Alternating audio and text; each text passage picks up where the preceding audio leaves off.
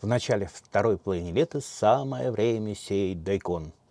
Как известно, если посеять дайкон слишком рано, он, скорее всего, уйдет в стрелку. Если слишком поздно, ну, останется маленьким.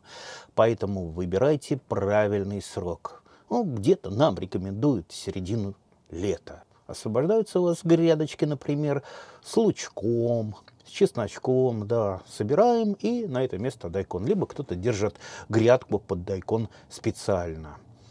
Итак, дорогие друзья, сейчас я как раз заехал в магазин, просто вот на бум заехал в первый попавшийся магазин и посмотрел ассортимент семян дайкона.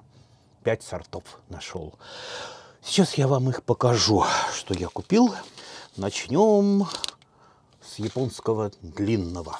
Вот, японский длинный.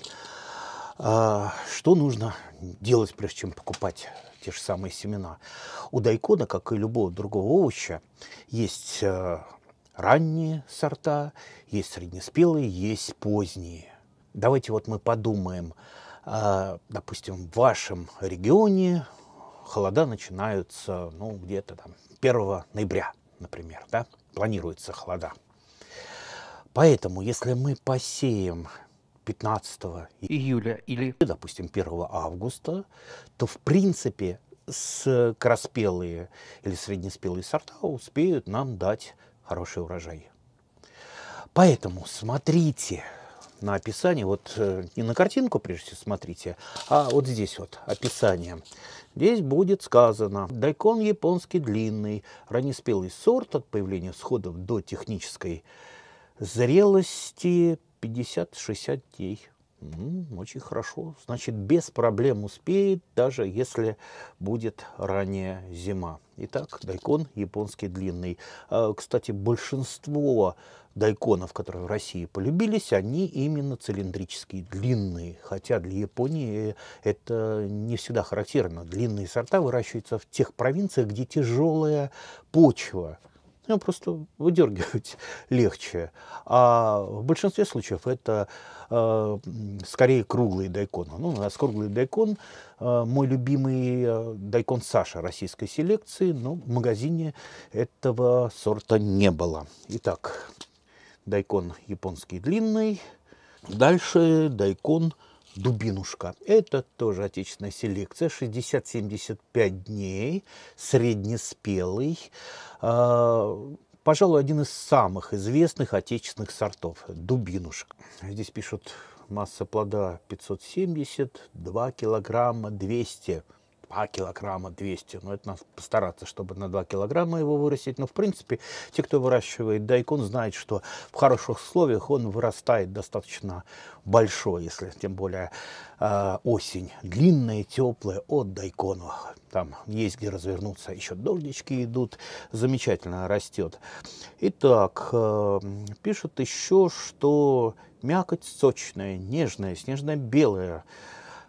ну, между нами говоря, все дайконы, у всех дайконов мякоть снежная, очень вкусная, ароматная, сочная, хотя есть японские дайконы и с красной мякотью, и с желтой мякотью. Но, опять же, у нас прижились исключительно белоснежные сорта. Итак, дайкон дубиднушка, японский дайкон, отечественный сорт. Идем дальше. Вот здесь мне понравилось название – за одном название купил соловей-разбойник. Соловей-разбойник, среднеспелый, от сходов до выборки урожая 45-50 дней. Но ну, это скорее даже ранний.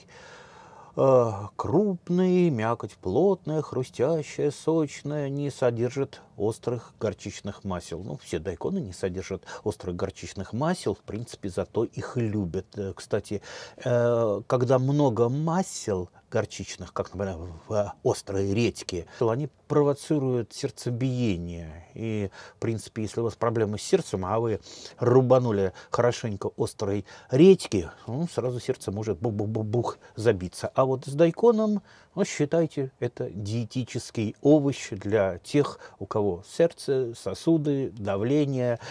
Э, так что дайкон можно считать э, лечебным диетическим овощем. Кстати, еще дайкон очень хороший, за что его у нас полюбили – он работает как вот те самые пищевые ферменты, которые продают в аптеке, да, когда тяжелая пища какая-то, дачная пища, да, шашлык, э, еще что-то. Вот ферментика выпили и нормально все переваривается. Так вот, дайкон работает абсолютно так же. Можете дайкон перед едой, во время еды, после еды, и будет у вас желудок работать во как. Идем дальше. Московский богатырь. Видите, исключительно отечественные сорта. 80-85 дней. Ну, даже если не успевает дайкон дорастит там до килограмма, полутора, а то и двух, ничего страшного. Он может оставаться как редиска, то есть он готов э, на стол в любом возрасте. Даже если вот, вот он такой вот небольшой, все равно собираем, порубили, и в салатик. Ну, а если у вас дайкона много, он большой, и девать его некуда, хранить негде, можно из этого дайкона сделать сок. Сок выходит великолепный. И, кстати, э, для желудка вот этот дайконный сок, это просто бальзам какой-то. Так что дайкон московский богатырь для богатырей, дачных богатырей. Вот. Ну и теперь самый, пожалуй, известный сорт дайкона, я бы сказал, даже самый японский, это Миноваси.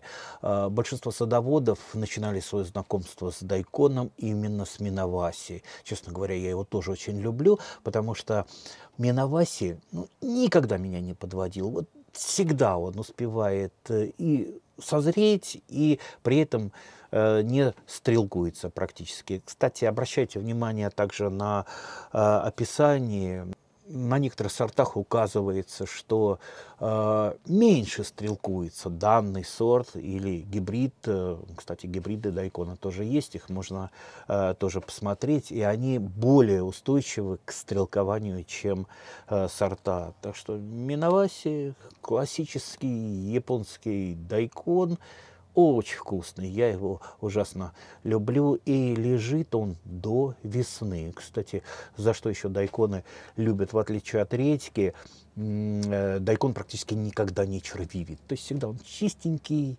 э, сочный, вкусный, замечательный. Э, а чтобы он оставался зимой таким же сочным, кстати, можно его в глину обмакнуть, то есть развести такую глиняную болтушку, обмакнуть и чуть-чуть подсушить и положить в погреб, и он будет оставаться до весны таким же сочным и вкусным. Ну и заключаем дайкон клык слона.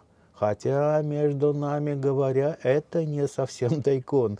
Ведь есть редька японская, а есть редька китайская. Японская называют дайкон, а китайская лоба. Так вот, как раз э, вот эта редька китайская или лоба. Ну, в принципе, ничего такого тут нет. Японская, китайская, в принципе, они очень похожи. Все это редьки. И наша черная редька, а, русская такая классическая, это тоже редька. И редиская это редька. А, так что все это редьки. Японская, китайская, все интернациональное. Так что ничего страшного, если клык называют дайконом. Ну, а если вы увидите, что этот сорт проходит под китайской редькой лобой, все равно покупайте замечательный вкусный сорт. Итак, дорогие друзья, хочу заключить такой вот фразой. Все вот эти вот сорта дайкона, это не просто а, покушать, это по-настоящему лечебный овощ. То есть, если вы будете выращивать дайкон, у вас будет здоровье лучше, и вы будете жить, ну, наверное, как японец, да? А знаете, что японцы – это самая долгоживущая нация в мире, да? Да, средний возраст далеко за 90 лет, а столетних среди японцев очень много. А дайкон японцы кушают за обедом, завтраком и ужином. На первое, второе и, наверное, третье. Так что полюбите дайкон, и будет вам много-много здоровья.